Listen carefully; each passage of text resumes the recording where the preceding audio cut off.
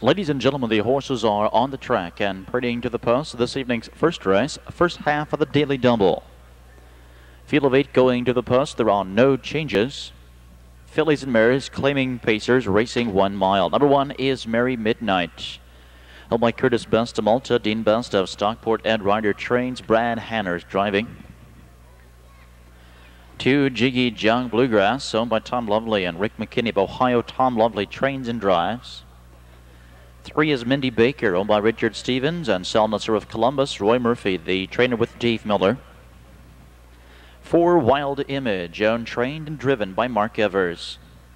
Five, Scoreboard Paddy, owned by Milt Wilkinson of Hilliard. Richard Randall trains. Jim Shelton drives. Six, Winsome Special, owned and trained by Marlon Smith of Thornville. Darren Mausera.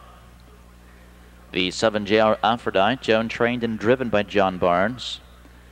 And from post 8, it's Direct Pride over the J&L Duval Stable, Bayside, New York, and Franklin of Lexington, Kentucky. Tommy Smith trains. Ryan Holton is in the sulky. First race, pacing fillies and mares, lining up, moving in. On the backstretch, there they go. And uh, they're off, and it's Mindy Baker from the inside. First for the lead from the far outside. Challenging is Direct Pride. Mid-track third, it's Winsome Special. From off the rail in fourth, Merry Midnight. Far outside five comes J.R. Aphrodite.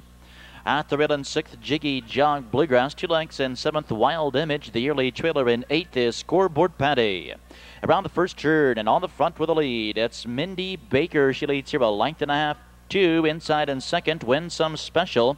And uh, J.R. Aphrodite is hung out the first quarter. The opening uh, panel in uh, 28 and 3. Merry Midnight has a lead. Winsome Special.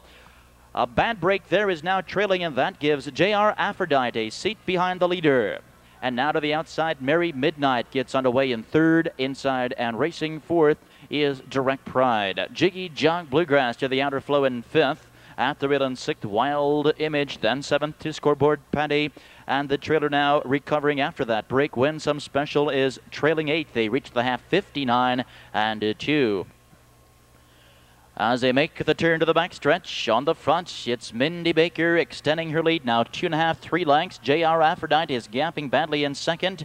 Merry Midnight to the outside and three wide. Here comes Jigejog Bluegrass. Scoreboard Patty is also in the hunt now, racing fifth and angling to the outside, direct pride around the tiring cover. Into the final turn, Mindy Baker has led every step of the mile, three quarters, 129 and four. But Jigejog Bluegrass, odds on favorite, driving up alongside the challenge, the leader.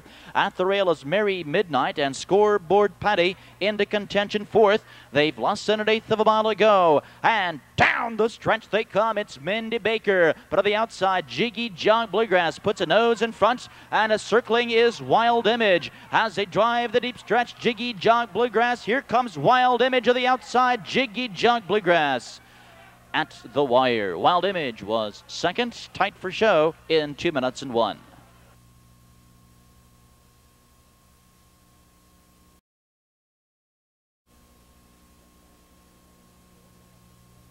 Trackside into the winner's circle. Unofficial winner, the uh, two horse Jigejog Bluegrass, 10 year old daughter of Fortune Ritchie. Owned by Tom Lovely and Rick McKinney of Ohio. Tom Lovely, the trainer driver. Win number four for the season, pacing tonight's mile in two minutes and one fifth.